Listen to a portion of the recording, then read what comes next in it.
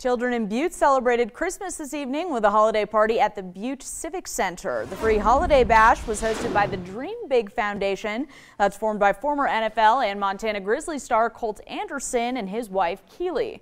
All the kids enjoyed sports, face painting, and of course pictures with Santa.